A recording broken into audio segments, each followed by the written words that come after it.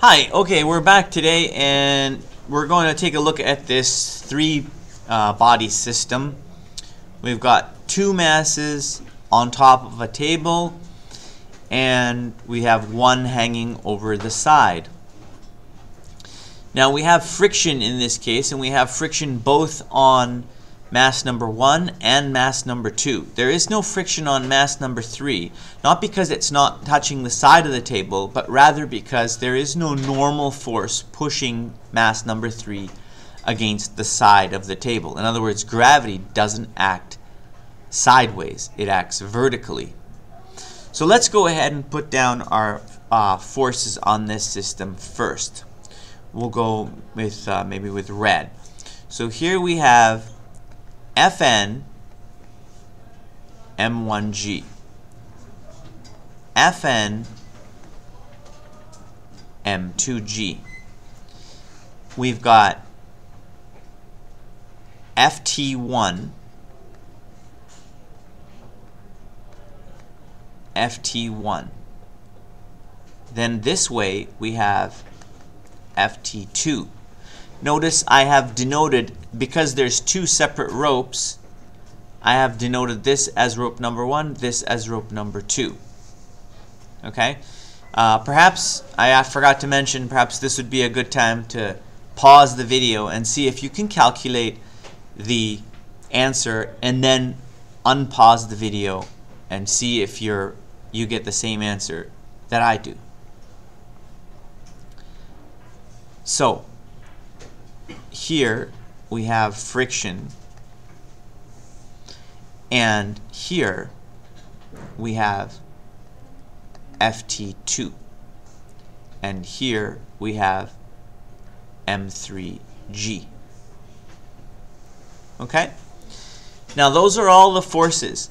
Please understand that uh, the vertical forces here and here don't contribute to the direction of the path. Let me draw my path direction here now. And my path direction is going to be like this.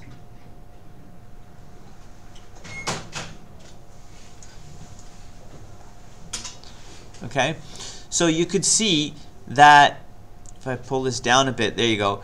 You could see that my path is to the right along the top and down for number three. Now I'm going to go ahead and write down summation of the forces for the system because I always do system analysis first to calculate the acceleration. There's no other way to calculate the acceleration. Okay? Uh, and, and, I, and also, I can't find the individual tensions without the acceleration. So this is step number one, is the system analysis and here is the equation for it. There it is. At summation of the forces is equal to F net, but for the system.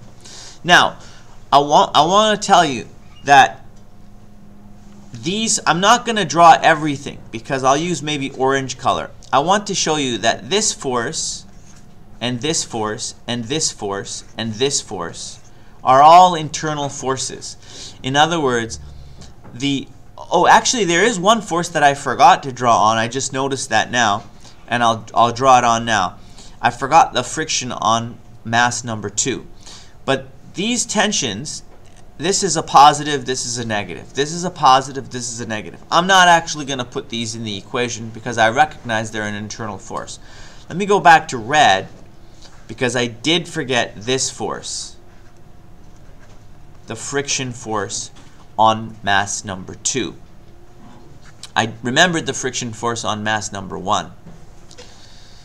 Okay, now let's go ahead and write the equation. So we'll start at the left here. Okay, let's start with this one. That's negative force of friction on number 1. Then, this one's plus and not negative, I can negate that. Then I've got minus friction force on 2. That's this one here. Then I've got plus FT2 minus FT2. I can negate, I can ignore those as well because they'll cancel out. Then I've got plus m3g. So essentially, the unbalanced forces in the system are friction force number 1, friction force number 2, and m3g down here. And there they are. Now this is going to equal the entire sum of all the masses multiplied by the acceleration of the whole system. Now, to find acceleration, I can replace the friction uh, variable with its equation, which is equal to mu mg. And I'm also going to rearrange these. I'm, I'm going to put this term first, and then I'll subtract these two, just because I don't like to start with a negative. So I'll go m3 g minus, now force of friction 1 is mu m1g minus mu m2g. And I'll divide all that by the total mass and that will equal my acceleration. Now, I can do one more simplification here, and that is, if you'll notice, there is a g term that is common to every term in the numerator. So I can go bracket m3 minus mu m1 minus mu m2 times g all divided by the total mass. And that is my acceleration. Now, now that I have the equation, why don't I go ahead and put these values in to my acceleration and calculate what it's going to be. So m3 is 7 minus 0.28 times m1, which is 3, minus 0.28 times m2, which is 5. And then I can multiply all that by g.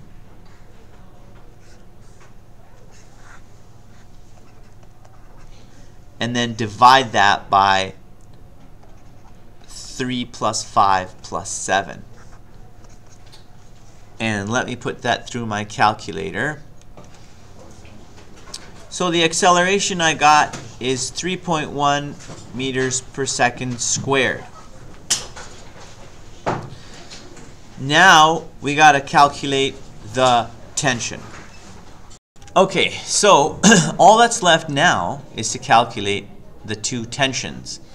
Now here's the tricky part if we choose, well, we have to decide which masses we want to choose to calculate the first tension and the second tension.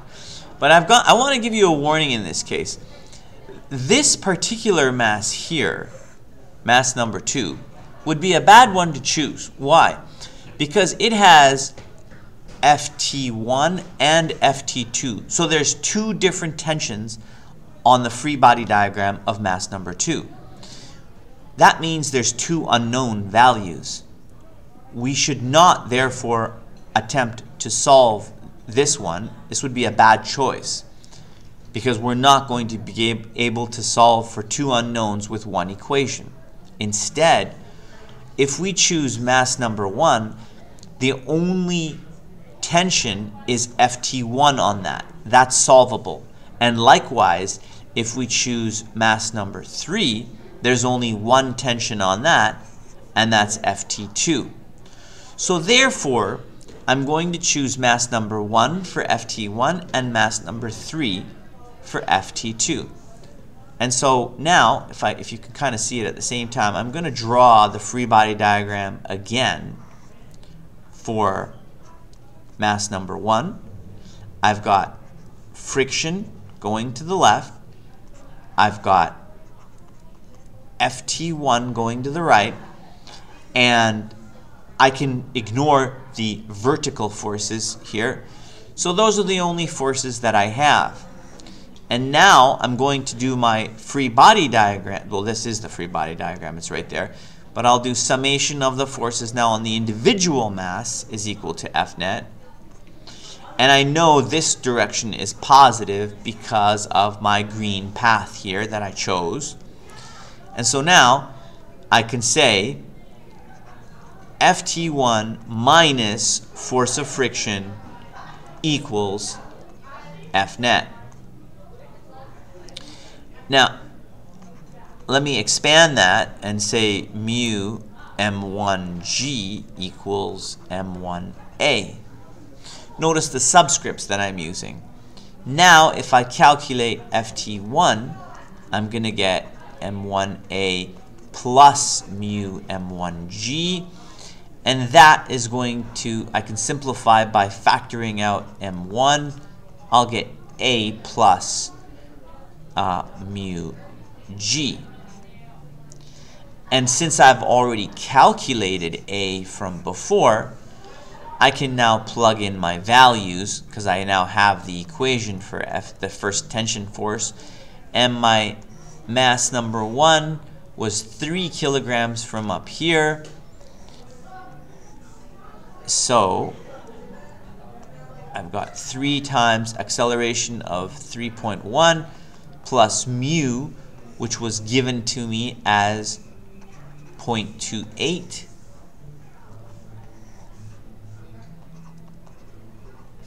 times 9.8 and now